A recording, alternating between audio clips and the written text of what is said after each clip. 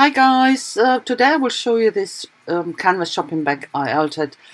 I started a while ago, you know, this thing since a while and I put some gesso on it, on that uh, side I wanted to paint on and that's it. And now I found it while I was clearing my studio and thought, ah, oh, come on, that's a good time to go on with it. And um, I'm working here only on one side I uh, the gesso is down. It's a very rough canvas actually, so I have quite a few layers of uh, gesso and still it is very rough.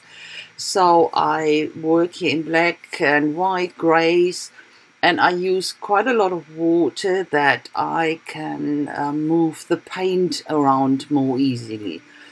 And um, put in just a layer of different, as I said, greys, whites, blacks, and a tiny bit of uh, very light yellow I put into. But that's it. And um, as I said before, it's only one side and I will keep it uh, with one side. I don't want to have both sides, you know. They want to be in competition and, oh, what the point? And you only can see one side when you carry it so yeah. Um, using more of this very light yellow here dab it off with a bit with a paper cloth here.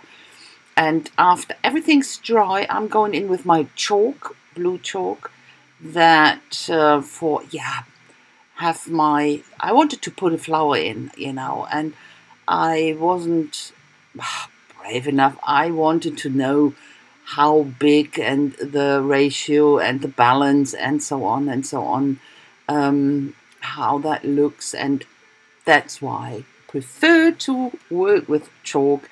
It's easily to remove and I think it's perfect for stuff like that, you know. And then uh, working with blacks to have the outline here and going in with whites and grays again, tiny bit of yellow. So it's a bit of what I going on now. It's a bit of layering and uh, yeah, just having fun. Especially, it's it's just having fun. I really like stuff like that. You know, this type of of flowers here, you find it a lot on this this um, uh, furniture shop poster pictures you can buy, and um, yeah, it's easy to do and it's perfect for my little shopping bag here. So, hallo ihr Lieben, heute zeige ich euch mal diese ähm, Einkaufstasche, die ich ein bisschen ähm, zurecht mache. Die habe ich schon längere Zeit rumliegen und habe auf der einen Seite jetzt hier schon mehrere Schichten Gesso draufgepackt. Ja, und dann habe ich sie liegen gehabt, monatelang irgendwie konnte ich mich nicht aufraffen. Ich habe die dann auch weggepackt und jetzt beim Aufräumen habe ich sie wiedergefunden und es ist einfach der perfekte Zeitpunkt. Jetzt gehe ich voran damit. Ich benutze hier im Hintergrund, Grund, äh, ja, habt gesehen, Blaus, äh, Quatsch, Blacks, oh, Black, äh, Blacks und oh ja, Schwarz und Weiß, mische das dann auch grau und habe so ein bisschen von dem Gelb noch mit drin. Das sind alles Acrylfarben und mache erstmal einen Hintergrund und gehe dann, nachdem alles trocken ist, mit Kreide rein, um vorzuzeichnen. Ich mag, ähm, ich meine, das ist eine einfache Struktur hier, aber ich mag das schon, weil ich dann abschätzen kann, ob das die richtige Größe ist, ob das ausbalanciert ist, harmonisch aussieht und so weiter. Und die Kreide, die sieht man dann hinterher nicht mehr. Die wird dann weggewischt, auch wenn du mit der Farbe drüber gehst. Also deswegen benutze ich das ganz gerne ähm, als ähm, ja, Vorzeichnung. Diese Art von, von Blume oder so, das findet man ganz viel auf diesen typischen ähm, Möbelmarkt-Postern. Und ich habe die mal irgendwo gesehen. Das ist ein einfaches Motiv und ich wollte jetzt auch auf der Tasche nicht unbedingt zu bunt, ich wollte es nicht zu auffällig haben, genau. Äh, und deswegen habe ich mich dafür entschieden und auch nur für ein paar wenig Farben das Ganze etwas ruhiger halten. Das sind einfache Strukturen hier. Es ist sicherlich auch mal ganz interessant für jemanden, der sagt, ich kann aber gar nicht malen. Und gerade in Acryl, das ist sehr, sehr einfach. Einfach mal versuchen, schön. Hier geht es jetzt im Prinzip nur noch um Schichten, das Ganze, dem Ganzen mehr Tiefe zu geben, gerade in der Mitte. Und ähm, eben, ja, einfach nur Spaß haben. Das ist etwas, was mir sehr viel Spaß macht. Und ich einfach so lange weitermache, bis ich meine, es ist schön. Und das ist eben der Punkt. Du kannst jederzeit aufhören, du kannst jederzeit weitermachen.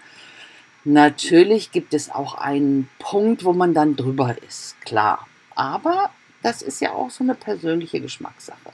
Hier mache ich so ein bisschen Außenschattierungen äh, mit einem dunklen Grau, gehe hinterher aber noch weiter mit helleren Reihen und so weiter, mit ein bisschen Gelb auch. Ähm, ja. Mir waren dann die Außenlinien irgendwie nicht dunkel genug und einfach auch zu sauber, zu ordentlich. Deswegen gehe ich jetzt hier erstmal mit dem Borstenpinsel rein, versuche das Ganze zu verstärken, aber immer noch zu ordentlich. Deswegen benutze ich ein Acrylic Ink gleich und benutze das direkt aus der Flasche mit dem äh, Drop Dropper, mit diesem Augendrop, ah, wie heißt sowas in Deutsch eigentlich, mit diesem Ding da dran, seht ihr ja gleich. Und gebe das direkt auf die Linien auf. Das gefiel mir dann viel besser. Ich äh, mache das auch sehr unregelmäßig und sieht wesentlich schöner aus. You know, I just work here on layers, as I said before, just having fun, a few layers here and there. The outlines in black, I didn't like them. They were too thin, not dark enough. So I went on here with my hard bristle brush and went over the black lines again with acrylic paint, but still wasn't happy, too neat. And I wanted to have them more distressed. So what I will do soon is using um, ink, acrylic ink in black, and use the ink directly from the dropper and put them onto the line and put a bit of these sketchy lines in what I find much more attractive and I really really prefer that looks it just looks not that so how should I say uh, it looks well, loose it looks much looser and so that's what I think.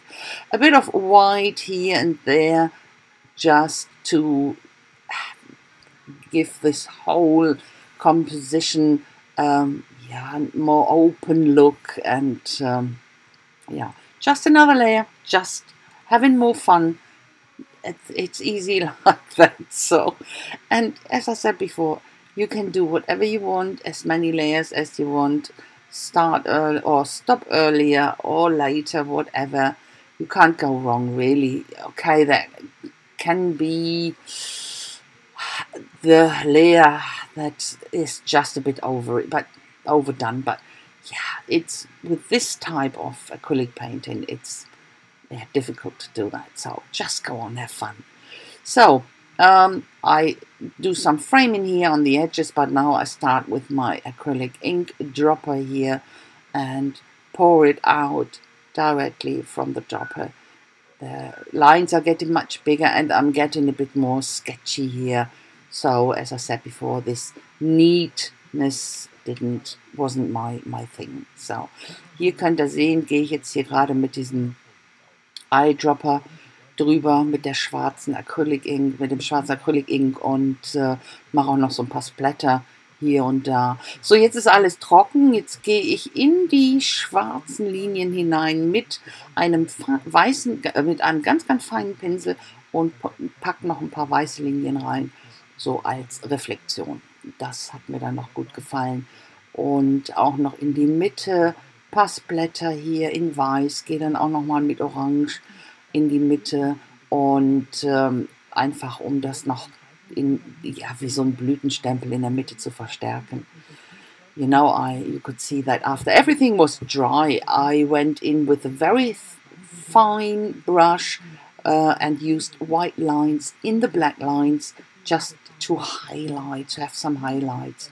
And then working in the middle, some splatters in white and in, in yellow.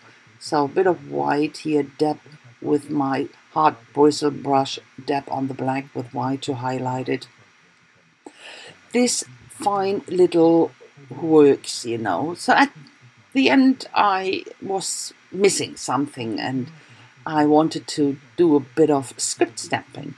So I started here with my, my big script stamp, that's a rubber stamp, and I quite like to use that with acrylic ink, but started here with a normal ink pad in black, and I was almost sure that wouldn't work, and I was right, but nothing lost here, just use some black acrylic um, paint and spread it out and then I dab my uh, rubber stamp into and um, print and that works quite well. Of course I uh, protected the flower, I wanted printing or the yeah the script appearing behind the flower because to me it's always it gives you yeah, much more depth. So ich habe dann hier ja, mir fehlte noch ein bisschen was. Habe dann noch gestempelt mit dem Ink. Hat es nicht so geklappt, war mir schon irgendwo klar, aber ich wollte es versuchen. Aber dann mit dem äh, schwarzen Acrylic hat das dann gut funktioniert und das gefiel mir gut. Ich habe die Blume abgedeckt, weil ich einfach das Gefühl geben wollte, es kommt von, von hinten hoch, also hinter der Blume hervor. Es gibt einfach mehr Tiefe. So, that's the close-up already, guys. I say thanks so very much for watching. I hope you like it. If so, please don't forget to leave me a thumbs up and a comment would be very much appreciated. I hope I see you soon with my next project. Until then, I wish you a fantastic time. Be careful out there. Stay healthy and never forget stay creative. Bye bye. Ihr Lieben, ich danke euch ganz, ganz herzlich fürs Schauen. Ich hoffe, es hat euch gefallen. Wenn dem so ist, lasst mir doch einen Daumen hoch da und über einen Kommentar würde ich mich riesig freuen. Und ich hoffe, ich sehe euch ganz bald wieder mit meinem nächsten Projekt. Bis dahin wünsche ich euch eine total schöne Zeit. Lasst es euch gut gehen. Seid bitte vorsichtig, passt gut auf euch auf, bleibt gesund. Vergesst nie, immer schön kreativ sein. Also bis dann, macht's gut, tschüssi.